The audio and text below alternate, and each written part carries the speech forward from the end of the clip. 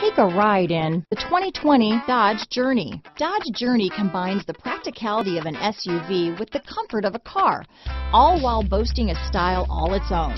The Journey's optional third row seat, along with innovative features like a chilled beverage cooler and in-floor storage bins, make it a good and affordable alternative to a traditional minivan. Here are some of this vehicle's great options.